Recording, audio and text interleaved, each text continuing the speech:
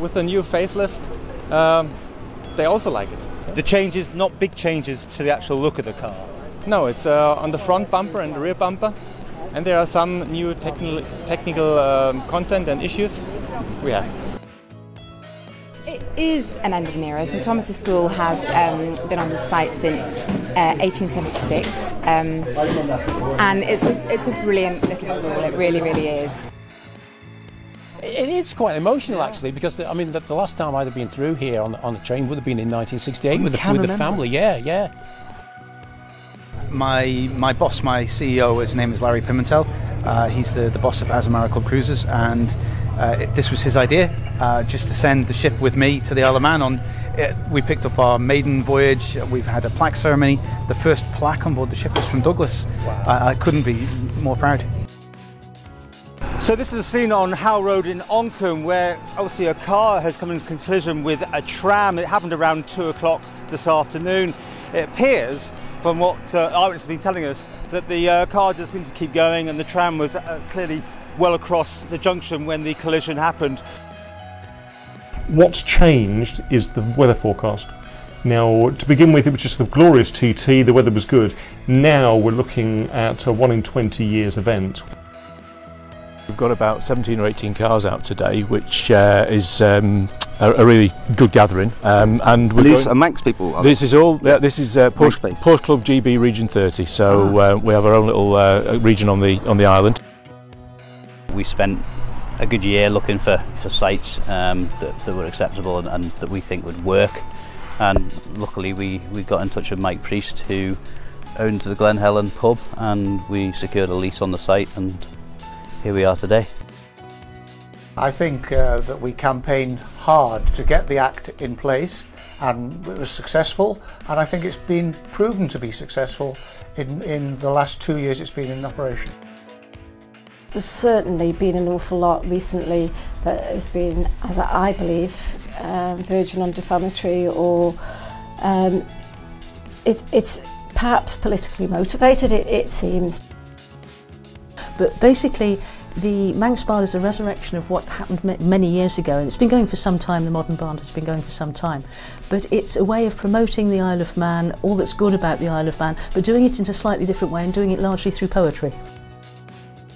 You know, we're, we're really passionate about the, about the bike, and it's, uh, it's quite hard to let it go, but it's, it's so fantastic that it's going to be here. You know, it was built to to compete here and to be successful here and it's certainly done that and to think that it's just going to reside here is perfect.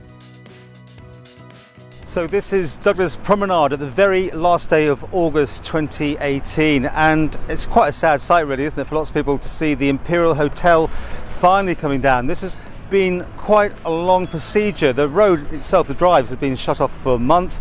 Uh, then there's been hold-ups because it's in a conservation area. But uh, it's been taking a few weeks, but suddenly in the last day or two, and especially today, the last day of August, suddenly the sign's gone from the front and this is really it. To, to be perfectly honest, Paul, I'm very sad. I'm sad at the fact that all of this has been shrouded in mystery. I don't believe that it inspires great confidence for the people on the Isle of Man who actually care for the building and for its future. Uh, that what we're dealing with is something different from what we've seen for the past decade. The, the rally was due to start within 10 days. We still had an uncertainty over the granting of the road closure order. We were constantly putting in revisions to our safety plan and we were getting more and more requests to make different changes. Uh, we are very pleased to say that uh, Isle of Man Creamery is going to be the first dairy in the entire British Isles who will be using uh, plant-based cartons which are 100% sustainable and renewable. What do we bring to the table as an island is obviously the tax incentives that every business on the island gets, but actually a lot of personal decisions go into where people base their companies and base their media. It's like everything else. People want to enjoy where they live, they want good restaurants, they want good education, they want a safe environment. The Isle of Man has all those things.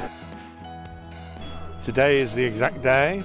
Uh, we maintain our position in the Guinness Book of Records with the oldest trams on the oldest tramway in the world um, in terms of the original trams.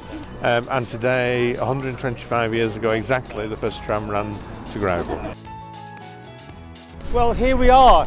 It's the 17th of September 2018, a day that many people probably not thought would actually happen, that the work is starting on Douglas Promenade. I think the Isle of Man is a very wealthy nation in world terms, and we've had a really good tradition of stepping up to the plate in terms of our international obligations. Well, here we are. It's five years since that dreaded day up at the Mount Murray Hotel that it's reopened. It's now called the Comis Hotel and a golf resort. Here, the, here are the shots inside of the areas that are open at the moment. This is obviously the, where the main conference centre, which the Isle of Man's obviously probably missing a lot, having that space that's uh, back in use. So it's finally been announced that the Isle of Man hosepipe ban is being rescinded. It was back on the 3rd of August that it came into effect, much to the surprise of some, as in the end rain did start to come down. But there was a lot of questions to be asked about what is going to happen here in future if we get more hot, dry spells like we've had in 2018 gentlemanly, dapper, hipster sort of fashion style to, to raise money and awareness for, for, the, for the good causes that uh, our charitable donations are going towards. This is a significant point. Uh, we've got uh, the steel going off the island this week with a bit of luck, and it'll be galvanised, I hope, within a very short period of time. I've asked for a, a quick turnaround, and then we'll get it back to here so that we can start painting it. I think part of the point of today is to show that the hype is real. It's mm. coming. It's really here. Time frame. I, I know some of the UK operators are talking about next year, and others a lot more the following year. For us, it's a function of many things. Were you disappointed that you made a loss again? Uh, no, not not at all. In as much as we reduced the loss by more than fifty percent what is happening is in line with the, what the original press release stated and what I've stated in the media interviews, which is we will need to suspend the private patients ward for 12 to 18 months while we rejig it, we refurbish it, we rebrand it, and we relaunch it. We've given a license to uh, Crogga, which is a local firm, to now go that uh, to to explore and to see if there's something down there. Um, and um, you know, this is a licensing bid that we started back a couple of years ago. It was actually Department Economic yeah. Development at the time. Uh, that process is completed now. They will now take this forward, and we'll see what will we'll see what will happen. But if, if you have one of those fault divorces, you can achieve the divorce in weeks rather than months or years. If you agree, if you both want an amicable divorce, you, you can wait two years. And if, if one party doesn't agree, it's a five year separation. Clocks have changed. Um, the, the, the weather's about to deteriorate, you know, in the typical good old Manx style that it does. And we just want to make sure now that at this time of the year that everybody's giving that little bit of extra attention to their vehicles, making sure that the, the bulbs are working and that the, the tyre pressures are correct and that the treads are, are safe as well. I suppose the main part of the report deals with the relationship that the Ireland government have with the BBC what the members of the report accepted was that there is a widespread feeling that Isle of Man taxpayers, the people who live on this island, are paying twice for public service broadcasting. We mustn't, any of us, assume that that makes crashing out of the EU next March with no deal inevitable. This report and its recommendations will change Manx Radio so fundamentally, we believe it will cease to exist. I've, I've kind of read ink, like little inklings to tell me that the report is due to go to go to the chief minister soon. The fact that the government collects the money and then says this is what we will give for public media, public broadcasting, isn't unusual. What is unusual and what is very unusual is to see a line in a document coming out of a parliament which says, although in principle a public service broadcaster should be operationally independent of government, the arm's length approach of, in this case, the Treasury, has not worked. What I can say is, you know, through the process and at the beginning of the process, the Chief Minister has promised that there will be a report uh, due for publication in December, and I would expect that deadline still to be met.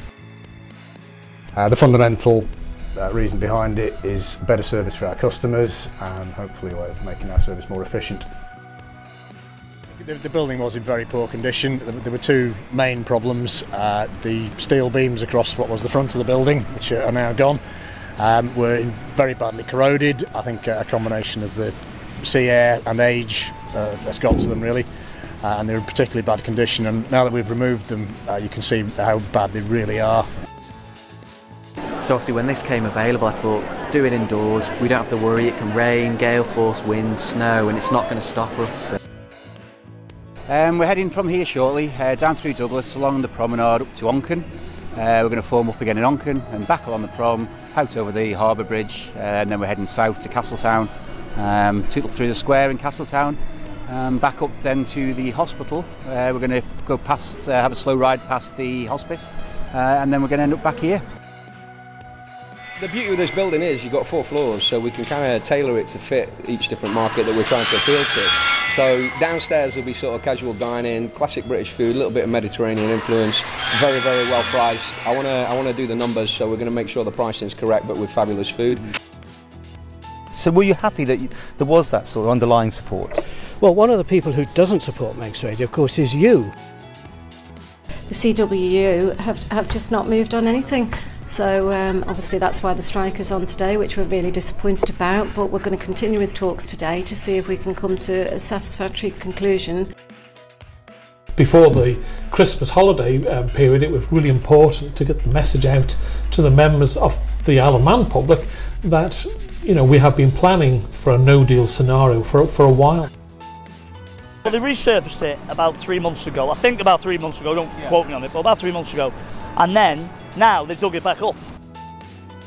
My thoughts were, well, okay, forget focusing on Manx Radio because um, the future of public service media is not really looking like an FM radio station on a hill.